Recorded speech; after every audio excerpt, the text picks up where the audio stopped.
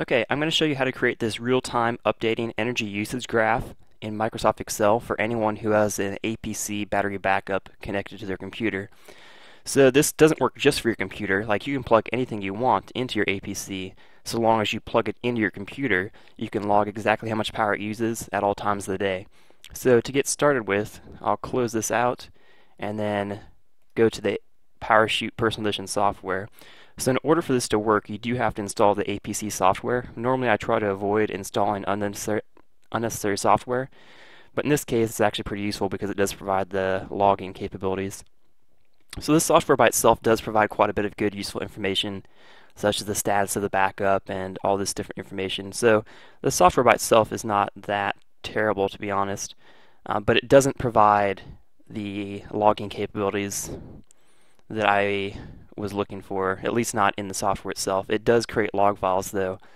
Um, as far as options in here, I don't think you have to have any of these boxes checked to create the log files, but it can't hurt to make sure the default options are selected. So to start with, I'm going to go to the file where I have the APC software installed. So here's the folder and here's the log file, this database file. It's a Microsoft Access file, and here's the path of it for a typical installation. It could be slightly different on your computer. Uh, it is a password protected file, so I had to do some research online to figure out what the password is. And it appears like the default password for these APC backups is Kruger, K-R-U-G-E-R. I'm not sure if that changes based on the model, but it works for this particular one. So that's the location of it, and now what we want to do is go into Microsoft Excel and create a blank workbook. So where's my Excel? There it is. Uh, create a blank workbook.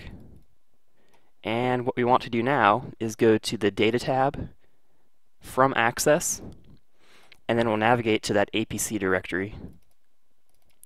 And you'll find the database file right here.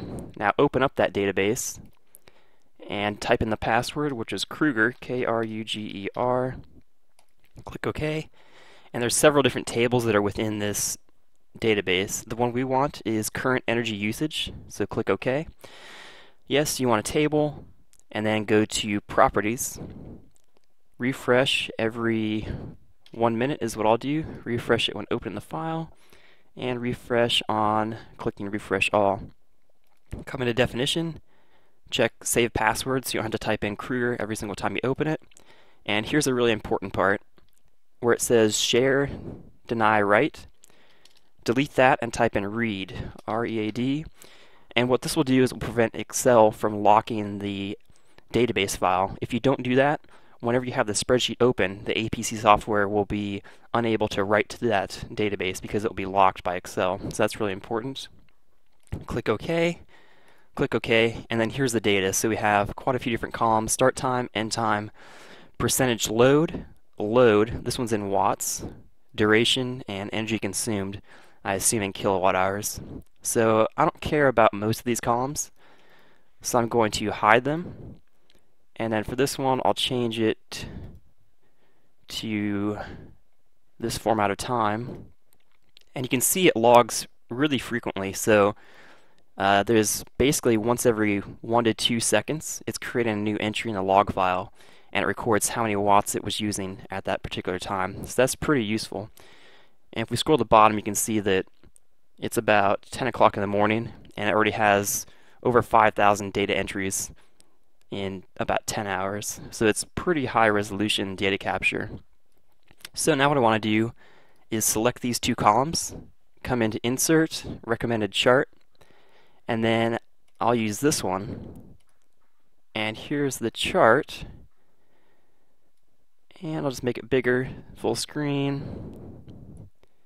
And here's the energy usage. For some reason it's not sorting quite correctly, so I'll go smallest to largest to make sure that we're sorting from midnight to the current time. And basically you can see I stayed up way too late last night, and here's when I went to bed. So I shut off the monitors on my computer, and the load dropped down. I slept for this length of time, and I woke up and turned the monitors on. And then you can see the energy usage throughout the day based on different things I was doing.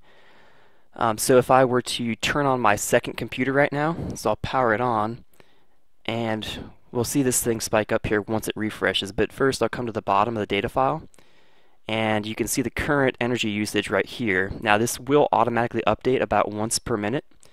Um, I can wait for it or I can just come up to the data here and click on refresh. Now I did not just click that, that was an automatic refresh that you just saw. And if I come in here you can see after I turn on that second computer the wattage went higher up to about 500, almost 600 watts with that second computer running. And simultaneously with that automatic update, if I come up to the top, you will notice that you can see that spike on the graph.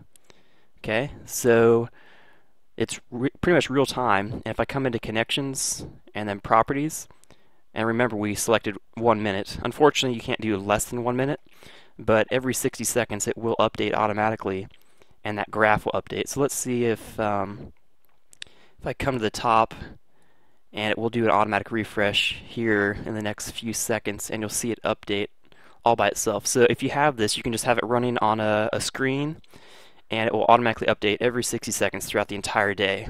And like I said before, you don't have to have a computer plugged into it. There it just went. You don't have to have a computer plugged into it. You can have whatever you want plugged into this APC and then, then just have it plugged in to your computer via USB and it will log it. So you can monitor energy usage on whatever you want and also of course have the battery backup capabilities. So pretty simple and that's all there is to it. Um, and you can save this file and always reference it uh, to see what your usage is. Once midnight rolls around, this data file is overwritten. So it's not like a historical archive. So once uh, midnight hits tomorrow, it's going to start from scratch and you're only going to have just a few lines of data in there.